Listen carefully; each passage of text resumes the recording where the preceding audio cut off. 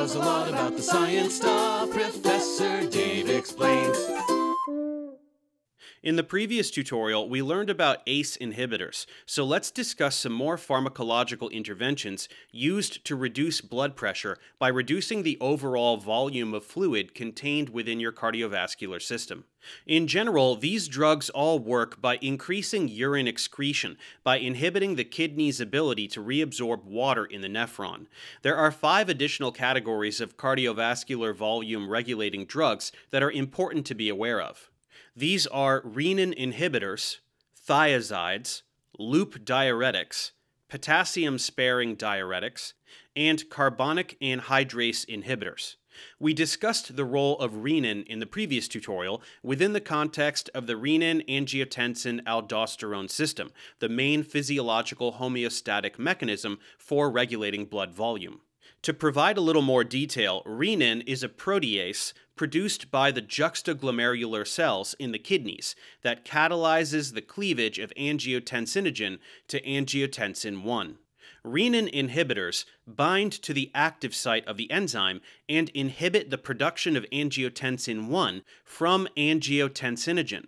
By inhibiting the rate limiting step of the RAAS, angiotensin 2 aldosterone, and antidiuretic hormone functionality is attenuated. As a result of this, significantly less water is reabsorbed by the renal system and blood pressure decreases.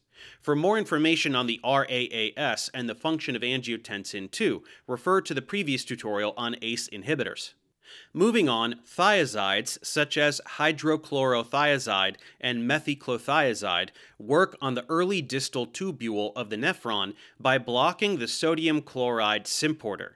This transporter protein moves sodium ions and chloride ions at a stoichiometry of 1 to 1 from the nephron tubular fluid into the distal convoluted tubule cells. After sodium and chloride ions have been reabsorbed, they can go on to be moved back into the interstitial fluid via the sodium potassium ATPase exchanger protein. As a result of the sodium chloride symporter, the water potential of the tubule fluid increases, and water will follow the ion transport via an osmotic pressure gradient.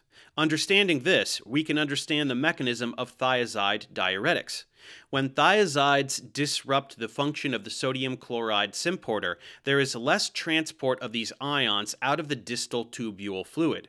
This, in turn, leads to less reabsorption of water by osmosis out of the tubule fluid, and after transport through the rest of the nephron leads to increased urine excretion and a lowering of blood pressure through reduced water reabsorption.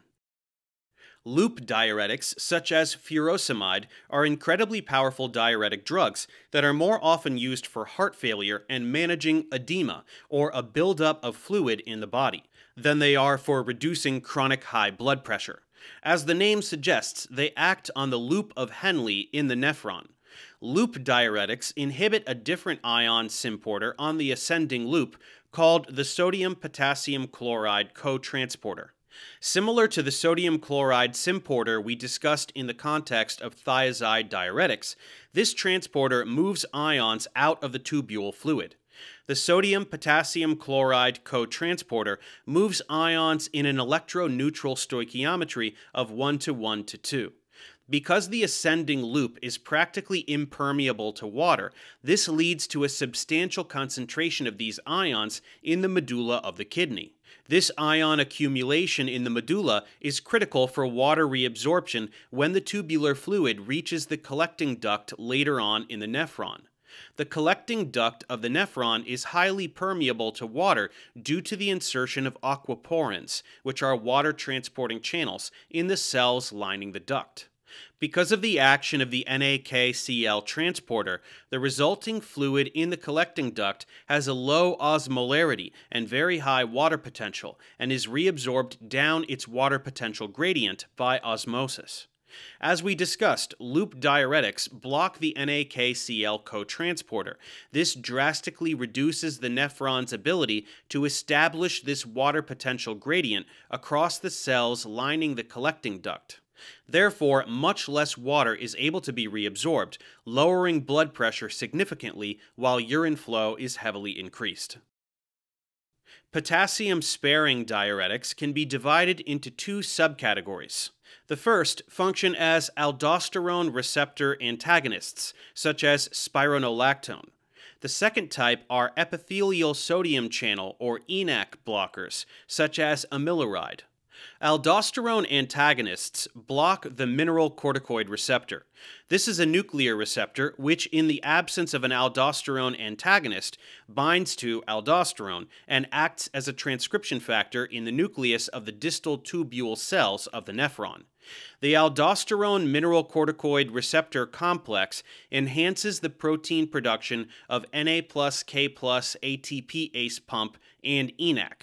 In the presence of aldosterone receptor antagonists, this transcription of ENaC and Na K ATPase pump is reduced, causing fewer transport proteins to be inserted into the membrane, leading to less sodium reabsorption out of the tubular fluid and therefore less water reabsorption.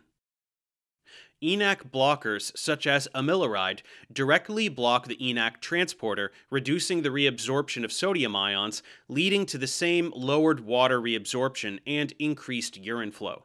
These drugs are known as potassium sparing because they cause isolated loss of sodium ions while retaining potassium ions.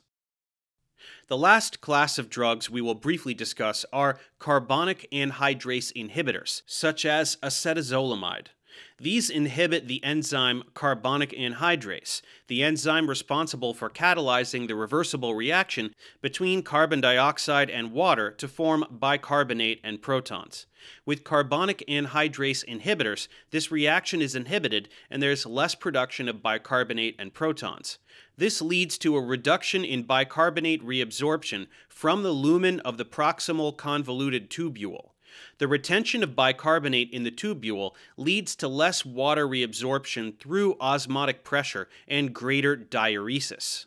Because of the increased excretion of bicarbonate, a common side effect of these drugs is anion gap acidosis, which needs to be managed. And with that, we wrap up a survey of volume regulation drugs. Thanks for watching. Subscribe to my channel for more tutorials. Support me on Patreon so I can keep making content. And as always, feel free to email me, ProfessorDaveExplains at gmail.com.